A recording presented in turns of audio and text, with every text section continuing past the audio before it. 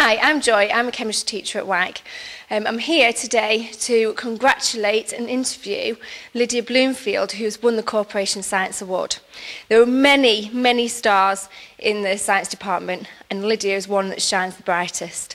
So, she's doing all three sciences, chemistry, biology and physics, First question is why, Lydia, is it that you took up science in the first place? Um, primarily, I took up science because I've, ever since being a young girl, I've wanted to be a vet, and it's what's needed. But also, I've found it fascinating at secondary school and really wanted to carry it on and learn more.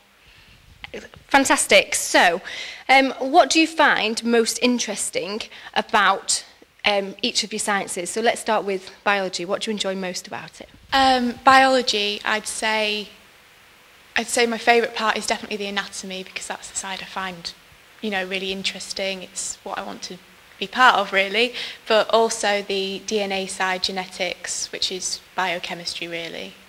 Um, and that ties in with chemistry. And I think I'd enjoy chemistry because it explains everyday reactions and you can really apply it, and especially with it mixes with biology so well. Um, it's really interesting for what I want to do. yeah, great because things like DNA that explains the bonding and things like that. Yeah, that the kind some bonds are stronger, some are weaker. Yeah. So, what do you like most about physics? Physics, I'd say I enjoy the fact that it's so um, straightforward and you know what your answer are because it just explains everything so well. So there's things like um, they have about orbit periods, which ties into space work, and that you did at secondary school, it just carries it on.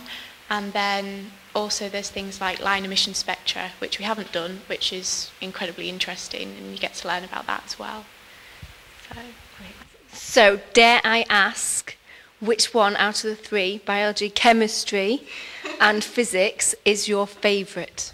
Uh, sorry, Joy, but it's biology, definitely, because, I mean, that's what my favourite. That's where my passion lies, really. Um, just has anatomy and physiology. I just love that. So. I'll forgive you since it has those bits in. Okay, so that brings us nicely on to what it is that makes you want to be a vet. Well, as I said, I've always wanted to, um, since I can remember, but also I can use science, which I find incredibly interesting, and I can apply it to my passion, which is for animals, and I can improve their lives using it, but also people as well. So it's just a career I really want, and I think it ties in my two interests really well. Okay, so it is extremely challenging to get onto a vet, veterinary course. Um, so I'm assuming that you have done some experience, got some experience in, in that field. What kind of things have you been up to outside of college?